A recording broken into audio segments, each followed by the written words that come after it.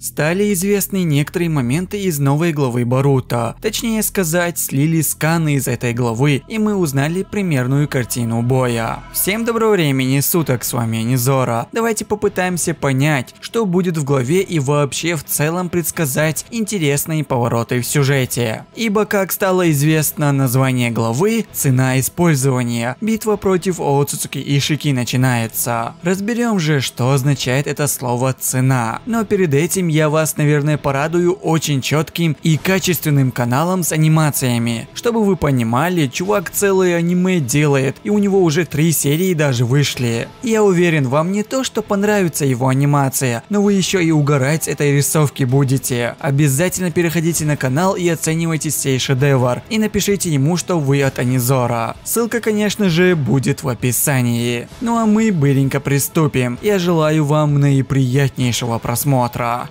ヒヒなら倒した。あとはお前の首だけだ。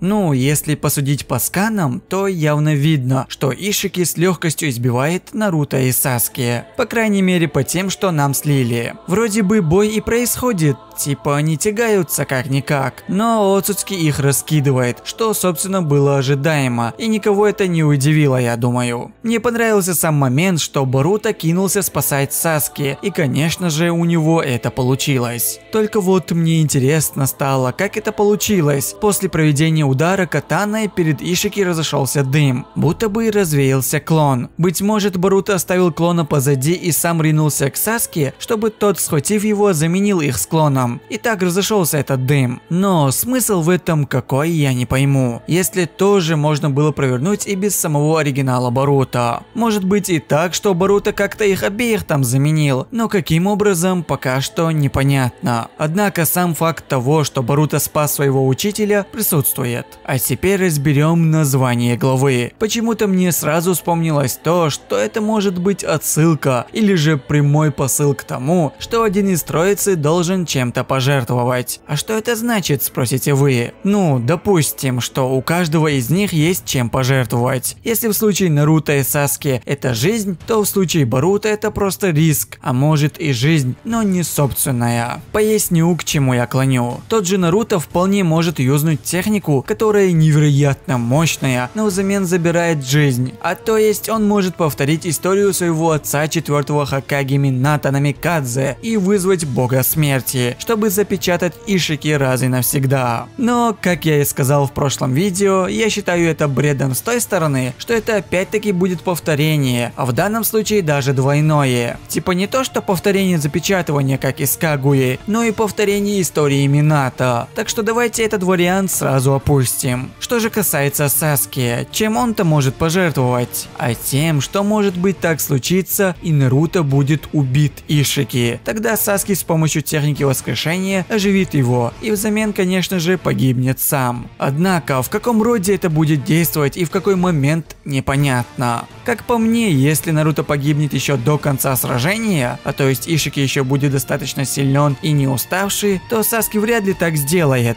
А если учесть, что Наруто сильно ослабит Ишики и погибнет, а Баруто и Саски добьют его, и тогда уже после победы воскресить Наруто, мне кажется, более похоже на Саски и более вероятно. Но опять же, этот вариант для меня тоже маловероятный. Объясню почему дальше. Ибо мы сейчас поговорим о самом логичном и скорее всего стопроцентном варианте. Опять же вспомним название главы. Цена использования или же цена применения. Эти слова можно отнести и к использованию режима. А какого режима, думаю, вы уже догадались. Боруто использует режим Мамашики для того, чтобы одолеть Ишики, ибо Наруто и Саски сильно проигрывают и не могут уже ничего сделать. И тут Боруто приходится использовать данную силу. Но даже после того, как он победит Ишики, Мамашики не остановится и уже нападет на наш дуэт или же деревню. Видео. Так это еще и более-менее позитивный исход. Быть может даже так, что Мамашики решит объединиться с Ишики. Вот тут и настанет капздец всему и вся. Но ну, а судя по отношению Мамашики к другим, то это очень вряд ли. Давайте расскажу вам, как лично я вижу картину. Наруто и Саски еле держатся с Ишики, даже способствует тому, что он ослабевает, но все равно проигрывают ему. И тут Баруто вступает в бой и использует силу Мамашики. И конечно же побеждает Ишики. Однако перед смертью тот успевает одарить кармой Каваки. Это тоже будет интересно увидеть, как это произойдет. Так вот, Ишики побежден, но Мамашики не намерен останавливаться. И тут Саски, выполняя свое обещание, пытается остановить Баруто и наносит ему удар прямо по глазу. В этот момент и появляется шрам Баруто. Но глаз, как мы помним, не пострадал. А то есть может быть так, что это как раз время для выхода Джо Гана, который в манге еще не показывался. И который защитит глаз и подавит силу Мамашики одновременно. Но вот тут один вопрос касательно того, почему у Баруто будет одежда Саски. Либо он сам даст ему ее, либо Саски в бою с Мамашики погибнет, и этот удар по глазу будет его последней атакой перед смертью. Но это я считаю еще рано, а именно что смерть одного из дуэта, так что все сложно предсказать, но картина будет примерно такая. Остается только гадать, будет ли весь бой в этой 50-й юбилейной главе или же нет.